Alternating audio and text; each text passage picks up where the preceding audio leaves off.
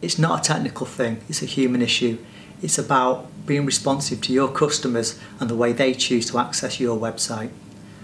And a good example of a responsive site is the site you're actually on now. And while I'm talking, if you just drag the browser window narrower and wider, you'll see how the site actually flexes to the uh, area that it's got. Because more and more people are accessing websites by tablet or by phone, and in the future, who knows, by wristwatch, by television, and even through glasses. You don't design for specific devices, you design for flexibility to support devices that you don't have or devices that don't even exist yet.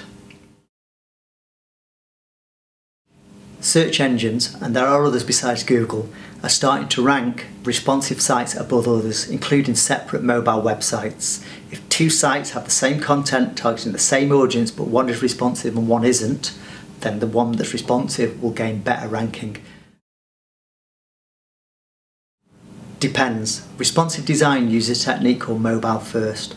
Basically you think and prioritise your content for a mobile platform, then you create your other variations, desktop, etc.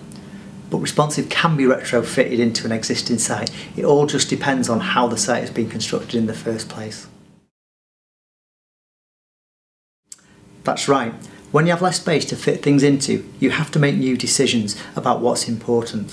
What a customer should see first what they might want to know and what their journey through your site should be. I guess the first option is to do nothing. Your site works, it's not broken, so why bother? The problem with this approach is that your competitors won't sit still.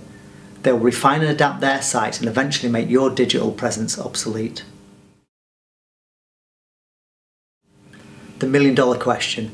Building a responsive site does take longer than building a non-responsive site and some people have estimated 30-40% more. But in our view and our experience, it varies a lot depending upon the, the state of the current site.